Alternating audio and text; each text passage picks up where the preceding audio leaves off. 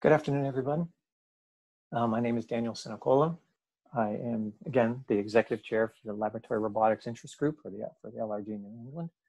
And I want to welcome you to our first virtual meeting. Uh, this is our rapid fire meeting uh, we decided to have as our intro into the virtual world. I hope you enjoy it. Uh, we have lined up three exciting speakers that we hope you will enjoy. Uh, just as some general information, uh, the chat window is should be available. There's also the uh, an opportunity for questions and answers. Each speaker has uh, 10 to 12 minutes to actually uh, do their presentation, which will be followed by maybe one or two questions. And then based off of that, uh, we will then proceed to the next speaker and continue that, that uh, process till the end, at which point we will have a question and answer session at the end of the meeting as well.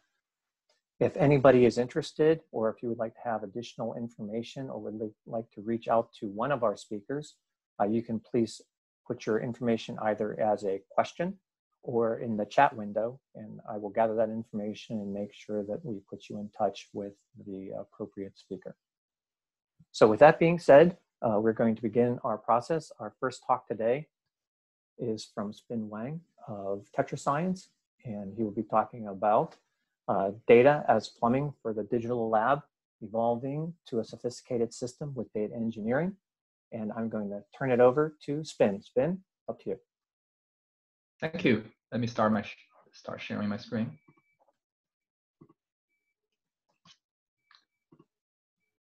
Can people see my screen? Yes. Okay. All right, let's get started. Hi, everyone. I'm Spin Wang from TetraScience, the CEO and co-founder. So today we'll be talking about how we're going to treat data as the plumbing of the digital lab and how we are using data engineering to evolve the plumbing system into a more sophisticated uh, network. So uh, John Conway from 2015 Visioneers has presented uh, about an analogy between a building and uh, the R&D organization. He, in that he talked about uh, uh, what is power, what is uh, communication system, what is uh, culture, the analogy uh, between a building and the R&D organization.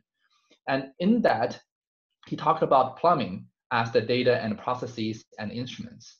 And today, in our presentation, we'll zoom into that particular analogy of data plumbing for the digital lab. We'll first define that, then we'll clarify using the analogy, this kind of requirements for this plumbing system, the impact of not taking action, and also our recommendations uh, for the audience. So we'll get started with, uh, with the definition of what is the data plumbing system for the, for the digital lab. So now let's think about analogy once more. Uh, you think about plumbing, you think about running waters in your home, you think about laundry machine, you think about uh, having you think about all the all the appliances, uh, dishwashers. Uh, you think about uh, it's uh, it could be nice and simple, but plumbing can also be extremely complicated if you think about it in the context of a, a New York City skyscraper, a, a New England aquarium, uh, Red Sox sports stadium. Right, you have complicated plumbing system. And if you think about analogy uh, in today's biotech and pharmaceutical uh, organizations, in the R&D organizations, plumbing can be equally, if not more challenging. In an R&D organization, you have heterogeneous instruments, you have disparate file formats. Uh, often, a lot of those file formats are vendor proprietary. You have distributed partners like your CROs or CDMOs that are conducting research outside your organization. You have different applications informatics softwares, ELN, LIMS, different vendors, uh, registration system, sample management. Then you have many workflows. There are many assays people are running. There are many type of experiments people are running. And increasingly more often, you are seeing uh, newer visualize, new visualizations and analysis and data sciences that are being demanded uh, by the organization. So our definition for the R&D data plumbing is the collection the cleansing, the harmonization, and the movement of your, of your R&D data. Very similar to the plumbing of the water in your house or in the building. And both types of plumbing are can also be can often be messy and dirty work, uh, involve the flowing of something, information or water through a complex system, they are usually simple to start, but can quickly become complicated and requiring special tools, skill sets, and careful design. So what are some of the examples of the data plumbing in today's lab? CRO sends you a large volume Excel files, PDFs, sometimes over email, sometimes via file share. Scientists have to manually download them and quality check the files. Scientists copy paste the values from their instruments into their lab notebook, then manually transcribe into their electronic lab notebook. And often this process requires second scientist review and third scientist review in compliant, in compliant environments. Data scientists have to manually compile the results about multiple batches, multiple samples, aliquots at different time points into an Excel spreadsheet or some kind of data science tool to illustrate trend and anomaly. So the plumbing is actually happening. They're not just they're just happening not in a consistent or automated way. So now that we have established the analogy, let's think about what are some of the requirements of a data plumbing system in your organization? What are some of the lessons we can learn from uh, the uh, uh, from the actual plumbing system? First, you don't really want water, dirty water coming to your building, right? And that's that's that's something you want in the plumbing system. And incoming water will go through additional filtration or sanitization. It's the same. You don't want dirty or untagged data going into your data lake, your ELN, your visualization tools. Even though it is crucial to collect as much information as possible, it is also crucial to attach the right metadata perform the validation, and also data harmonization. There can also be leaks, broken pipes and clogs, and we all, we all know that. We've all experienced that. In data plumbing, there can be processing errors. So that requires alerting and notification to show and indicate uh, those behaviors. It is challenging to understand how the water is actually flowing through the plumbing system without a map, right? It is just how are those pipes connected? So it's the same in your data plumbing system. It requires a central dashboard to, to view and manage the data flow. Think about having a Google map, but describing the data flow for your lab.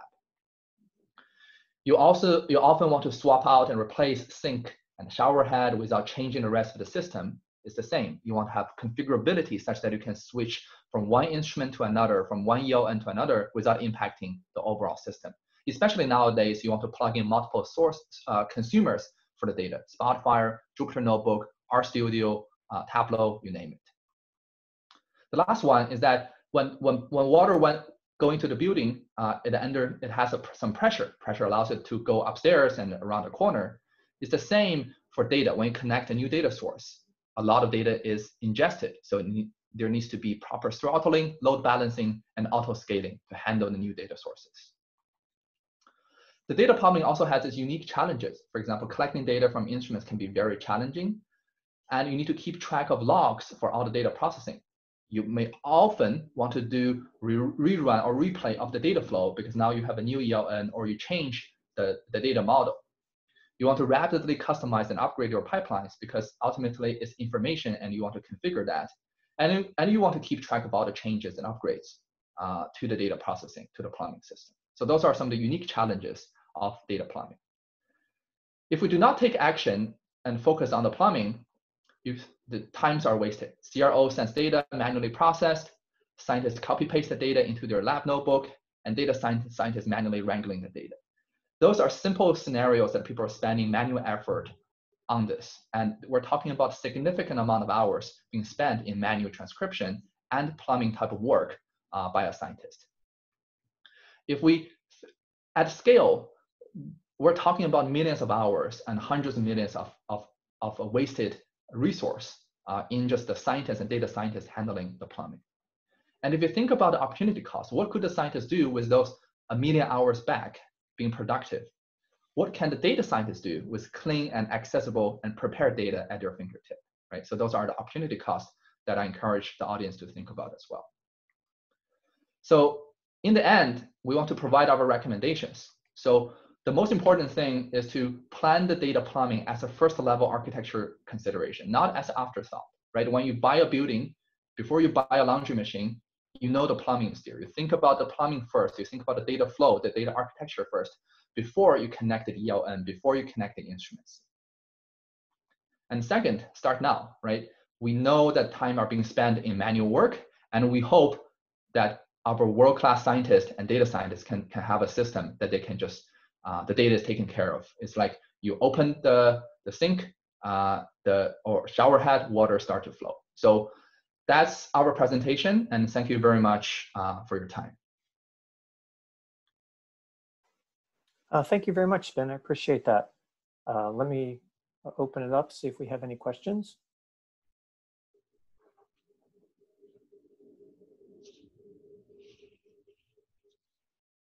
Okay, uh, no questions. Spin, just out of curiosity from the standpoint, how do you deal with connectivity? What type of requirements do you usually suggest that people provide to you when trying to connect into uh, their own infrastructure? So uh, we usually recommend people to adopt the cloud, uh, and a lot of the, the scalable, a lot of the requirements we talked about, uh, auto scaling, throttling, notification, alerting, logging, configurability. Those are perfect uh, kind of solutions or uh, features that the cloud and something like a, uh, Amazon Web Services can provide. So using the cloud to build the connectivity, the plumbing layer will save uh, the organizations a lot of effort, and also you are able to leverage the scale, the elasticity uh, that came with the that will come with the cloud. Okay, uh, we have one uh, additional question that came up. Uh, can you share how many instruments you have built data pipelines for? Well, sometimes I mean uh, we have connectors, agents collecting data from the instruments. We have pipelines parsing the data. Right now, I think we are getting closer to 75 uh, and uh, the best thing is that this is a crowdsourcing effort. Uh, we work with one pharma company. They asked TetraScience to prioritize BioTek plate reader and Tecan liquid handler. Another company asked for another subset. So we're able to crowdsource and share all the work we do with other companies. And for example, some company will ask for new features. For example, integrating with Waters Empower, uh, some customer at pharma company wanted uh, to, to, to not send all the information to the cloud, to the plumbing system, uh, only after something is signed off. So that is a feature request that we're able to roll out uh, to, to all the companies. So okay. who uh, believe this is a cross-sourcing effort? All right, and we'll ask uh, one last question. And while we're doing this, uh, uh, Spin, if you don't mind, stop sharing. And Frank, would you mind beginning your share? The last question is, which LIMS and data analysis tools have you integrated using your pipelines?